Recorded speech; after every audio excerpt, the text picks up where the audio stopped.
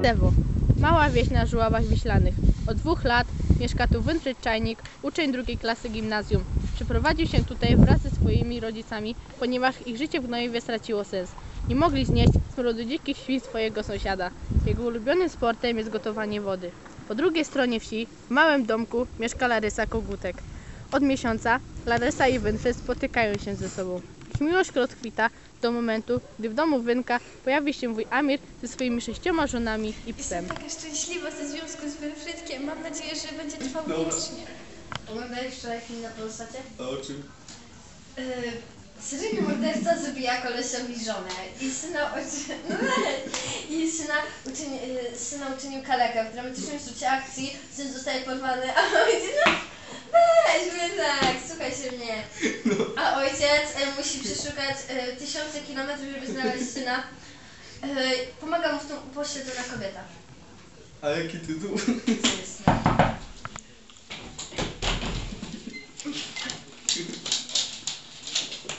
Witaj Wynek, słyszałeś, że wyjeżdżam do Chin w służonych sprawach raz z moimi sześcioma żonami? No.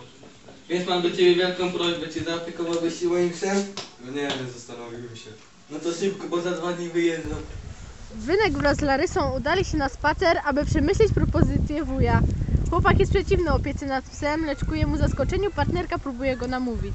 Nie jestem pewien, czy to dobra decyzja. Nie pożałujesz tej decyzji, zawsze chcesz mieć pieska. A ja nie umiem opiekować się psem. Spokojnie, pomogę ci. W ogóle wujek ci tyle pomógł. Czas, żebyś się zrewanżował. No dobra, możemy spróbować. Po powrocie ze spaceru, Wynek zadzwonił do wuja i poinformował go o swojej decyzji. Larysa, podekscytowana wczorajszą sytuacją, dzwoni do Winfryda, aby zaproponować mu wspólny spacer i pomoc. Hej, Winek, e, rozmawiałem z wujkiem, to może byśmy skoczyli na spacer? A, że się czujesz, no dobra, to do zobaczenia, to pa, kochanie. Czuję się winna, ponieważ niepotrzebnie przysporzyłam mu z dużo kłopotów, pewnie przez to się rozchorował. Po południu Larysa postanowiła wybrać się do sklepu. Dziewczyna postanowiła kupić smakołyki i odwiedzić swojego chłopaka. Ku jej zaskoczeniu, Wynek stoi pod sklepem z kolegami i psem, mówiąc mu czułe słówka. Nie mogę uwierzyć, nazwę tego kundla pączuszkiem! On tylko do mnie tak mówi! Larysa, siedząc z przyjaciółkami, opowiada im zaszłą sytuację.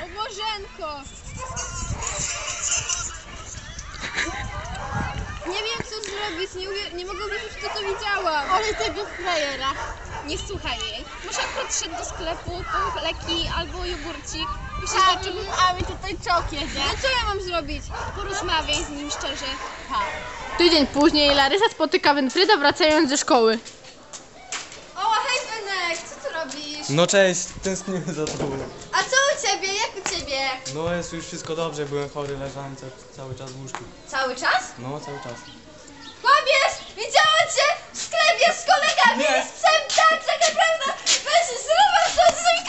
We wtorek po szkole Wynek wraz z psem spędzali popołudnie na oglądaniu telewizji, jedząc suchy chleb. Gdy nagle niespodziewanie pojawił się wuj Amir ze swoją nową żoną.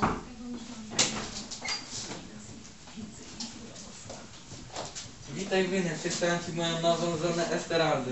Postanowiłem wyjechać do mojego rodzinnego kraju wraz z moim psem. Chcesz zabrać psa? Tak bardzo się z nim przyjaźniłem, nie możesz na, teraz nas rozłączyć. Już postanowiłem, za dwie godziny mam samolot.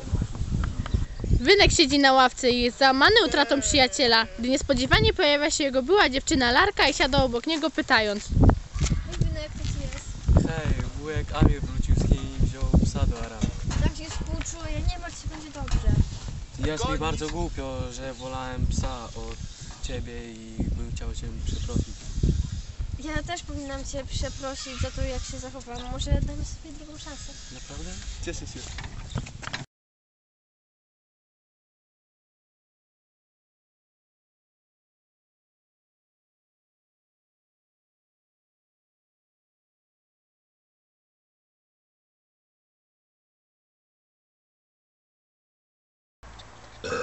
Jestem taka szczęśliwa. Po południu Larysa postanowiła wybrać się do sklepu. Dziewczyna postanowiła... I kto tu psuje? No dawaj! Wynek siedzi na ławce i jest załamany utratą przyjaciela. Gdy, na, gdy niespodziewanie pojawia się jego była dziewczyna Larka, siada obok niego pytając. Larysa, podekscytowana wczorajszą sytuacją, dzwoni do Winfryda, aby zaproponować mu wspólny spacer i pomoc. Halo, Wynek? Rozbijać z weekend? E, to może pójdziemy na spacer? Że się czujesz, no dobra, to cześć. To już jest koniec, nie ma już nic. Jesteśmy wolni, możemy iść. To już jest koniec, możemy iść. Jesteśmy wolni, bo nie ma już nic. Robaczek w swej dziurce jak docent za biurkiem i pszczółka na kwiatkach, jak kontrol w tramwajach, tak dłubiej gmera na